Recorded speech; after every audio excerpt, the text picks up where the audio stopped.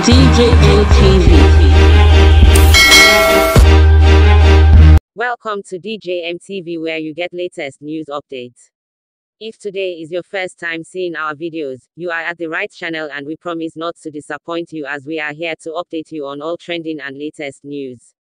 Please don't forget to subscribe to our YouTube channel for more videos like this and you are welcome on board. Please share, comment and like our work as this give us the strength and ability to carry on with our good work. Let's get into the main news. Main new. The battle to sack EFCC boss, Magu. The nation's media space was agog Monday with the reported arrest of the acting chairman of the Economic and Financial Crimes Commission, EFCC, Ibrahim Magu, by the Department of State Services, DSS. Though the DSS has since denied arresting Magu, just as another piece of reports indicated that he was only facing a presidential panel, the way and manner his invitation to the panel took place speaks vol, underscoring the various controversies that have trailed his tenure as the helmsman of the anti-corruption agency. According to reports, operatives of the DSS had accosted Magu while he was about driving out of the Wuse to Abuja Annex office of the EFCC, informing him of an invitation to the panel.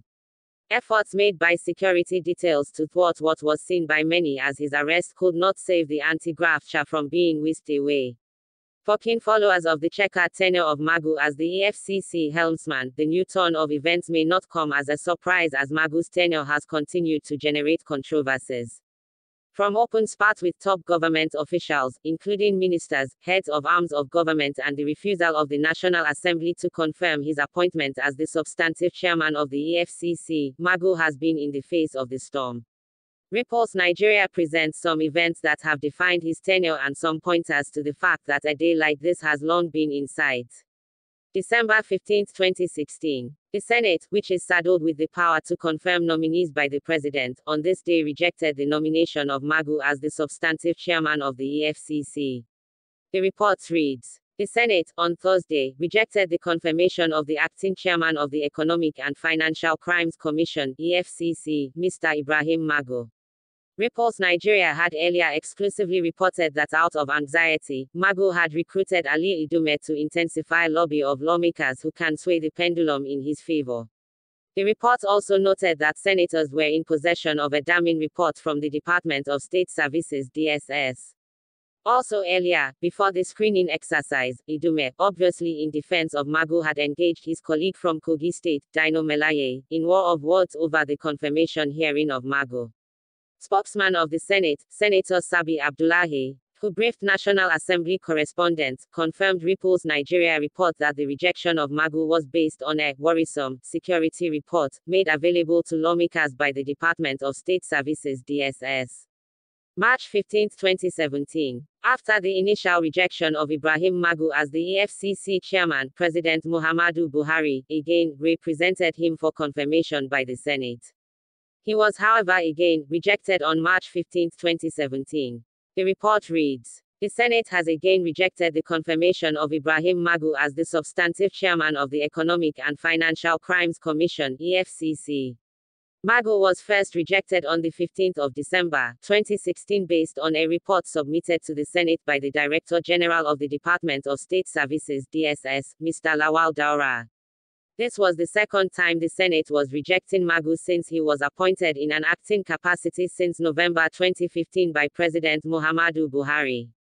The rejection followed a heated questions and answers session between senators and Magu. The question and answer session was part of the confirmation process for Magu. Magu was grilled on issues of human rights abuses, abuse of court processes and judgments, as well as loss of human lives in EFCC cells. Magu responded to questions on a report of the Department of State Services DSS, which claimed that he corruptly enriched himself since he joined the commission in 2004.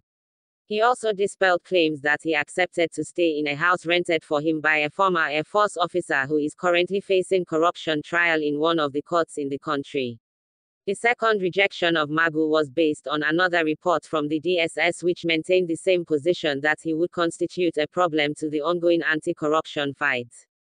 Announcing the rejection after an hour 30-minute grilling by the Senate, lawmakers claimed that another report from the DSS again indicted Magu.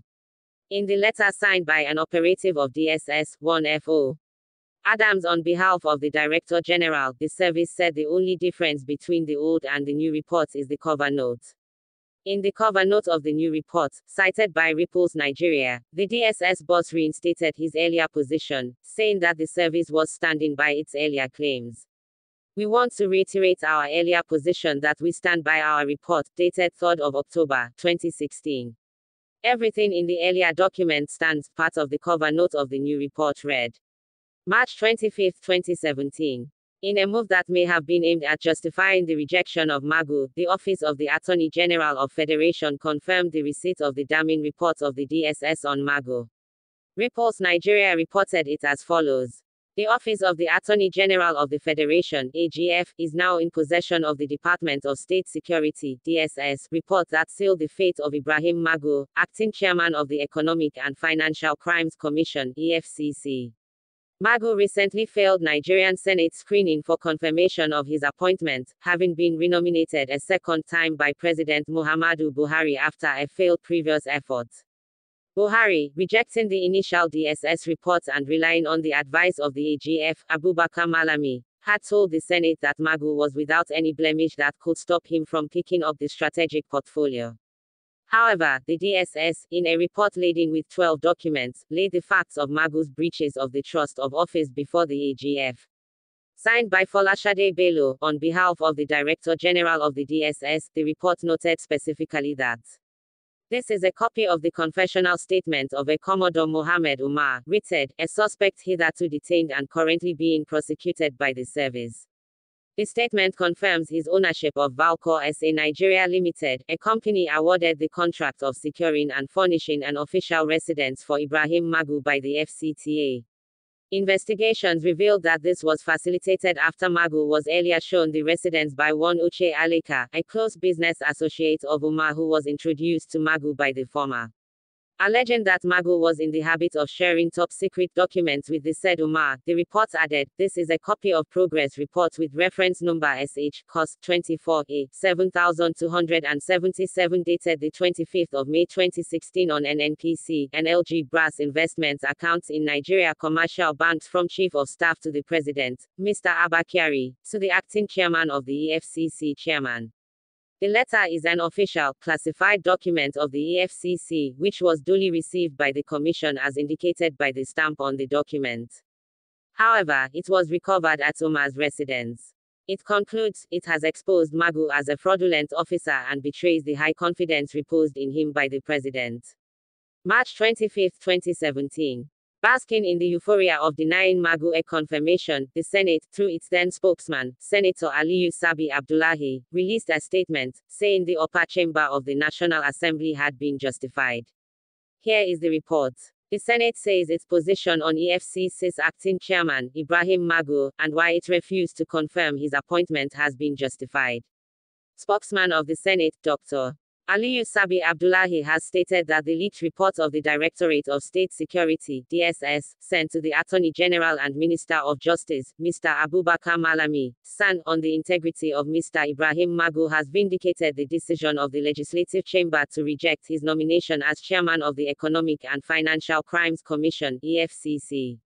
In a statement he signed Saturday in Abuja, Abdullahi stated that, following several calls made to me today by journalists seeking my comments on the leak report on Mr. Ibrahim Magu, which was more damning than the one submitted to us, I can only say that myself and my colleagues have been vindicated.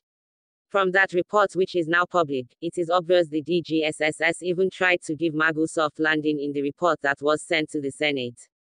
The recent report is messier and shows that our decision not to confirm his nomination was right. We therefore call on all Nigerians to continue to have full confidence and trust on the Nigerian Senate as it discharges its responsibilities according to the letter and spirit of the Nigerian Constitution, he stated. August 24, 2017. Magu's problems was not just with the Senate, as he has had a number of spats with the Attorney General and Minister of Justice, Abubakar Malami, who is supposed to be his supervising minister. Malami on this date accused Magu of playing ignoble roles that led to the suspension of Nigeria from the Egmont Group. Below is the report. The feud between the Attorney General of the Federation and Minister of Justice, Abubakar Malami, SAN, and the acting chairman of the Economic and Financial Crimes Commission, EFCC, Ibrahim Magu, took a new turn for the worse as the AGF onward alleged that Magu's ignoble role was what led to the suspension of the Nigerian Financial Intelligence Unit, NFIU, from the Egmont Group.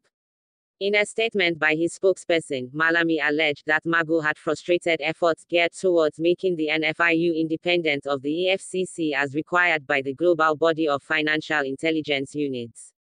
It will be recalled that following Nigeria's suspension from the Egmont Group earlier in the year owing to what the group cited as lack of independence of the NFIU owing to perceived undue interference largely from the EFCC, the Senate hurriedly passed the Nigerian Financial Intelligence Agency bill which will grant full autonomy to the body, separating it from the EFCC. The EFCC had criticized the move, interpreting it as a calculated effort to limit its powers, a position shared by some civil society groups but one which is opposed by the AGF's office. The AGF had praised the move as a wise and timely intervention by the lawmakers. This development is coming as Magu and Malami are still locked in bitter disagreement over non-release of requested corruption case files. Magu had despite repeated requests by the AGF declined to send over case files resulting in heated public exchanges, a situation which some say merely reflects a deeper issue. Many will read these new comments by the AGF as further confirmation of his widely speculated long-held sentiments against the EFCC boss, and perhaps the clearest sign yet of a festering long-drawn fundamental disagreement. In the statement, Malami observed that the threat of expulsion from the Egmont Group, that might follow the suspension, calls for a thorough review of the NFIU. He added that it also warranted a review of the manner in which the EFCC leadership has manipulated and misused intelligence to the detriment of the fight against corruption and financial crimes in Nigeria. The AGF narrated different instances where Magu had frustrated bills sent by his office aimed at enhancing the anti-corruption fight and making the NFIU independent. The statement which was titled, EFCC Ignoble Rule That Led to Nigeria's Egmont Suspension, stated in part as follows. It is a sad tale to tell how the acting chairman, Ibrahim Magu-led EFCC has frustrated these efforts and even had to resort to blackmail in some instances oftentimes, alleging that the AGF and the ministry were all out to impede the government's anti-corruption drive. Magu and other EFCC officials, and at times through online publications, had at one time or the other accused the minister of trying to compromise the war. They have always perceived the office of the AGF as a threat instead of addressing the issues related to the best strategy to fight corruption advocated by the AGF. For instance, during the House of Representatives Committee review session on the 18th of April 2017, Magu vehemently rejected the new Money Laundering, Prevention and Prohibition Bill 2016 submitted by the President which according to him, as reported by some national dailies, might prejudice President Muhammadu Buhari's anti-corruption agenda. He even went on his whimsical best by surmising that passing the bill into law now will affect Nigeria's application for the membership of the Financial Action Task Force FATF. What parody! In likewise, the EFCC is now in a state of paranoia, as it dreads the efforts of the government to have an independent NFIU which it has stood against stoically since 2006. As it presently stands, the NFIU members of staff are all deployed by the EFCC to serve in the interest of whoever is its current chairman. This has to stop if it must conform to the new thinking and global best practices. Nigeria cannot be an island of its own. It noted that the EFCC cannot fight corruption in isolation. February 9, 2018. Malami was not the only minister that had disagreements with Magu or queried his work at the EFCC. A former Minister of Finance, Kemi Adeosun had queried Magu on the figures the EFCC had been quoting in the media as monies recovered by it. In a February 9, 2018 letter, Adeosun wrote to Magu, This is to notify you of the records of cash asset recoveries in the custody of the Economic and Financial Crimes Commission EFCC, from May 2015 till date based on information available to the Office of the Accountant General of the Federation, attached, the letter read. It has, however, come to the notice of the Ministry of Finance the use of recovery figures in media reports by the EFCC that do not reconcile with the records of the ministry. You are, therefore, kindly requested to clarify where these cash recoveries have been deposited and provide accompanying evidence. June 19, 2020. In what many say may have been the final onslaught against Magu that led to the events of today, July 6, 2020, the Attorney General, Malami, in a damning report, accused Magu of several infractions, 22 in number, emphatically recommending his sack to President Muhammadu Buhari, who has solidly insisted on Magu's stay in office. Here is the report. The Attorney General of the Federation, AGF Abubakar Malami, has written to President Muhammadu Buhari to have the acting chairman of the Economic and Financial Crimes Commission Ibrahim Magu relieved of his office.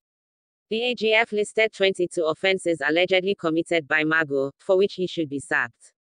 Magu has been in acting capacity since the National Assembly twice refused to confirm his nomination to head the anti-graft agency after the president sent his name to the federal lawmakers on both occasions. The AGF, among other things, accused Magu of insubordination and discrepancies in the figures of funds reportedly recovered by the EFCC. He was also accused of disposing of assets, especially buildings seized from corrupt politicians and others, without approval or knowledge of the AGF's Office, which is the supervisory ministry of the EFCC. Although the EFCC boss is said to have supporters at the presidency, who have been speaking in his defense and giving reasons why he should not be sacked, there are feelers that the president may be forced to act on Malami's complaints and set up a body to look into the allegations against Magu. Thank you for all your time listening to us. Thanks for all your love and support. Bye for now.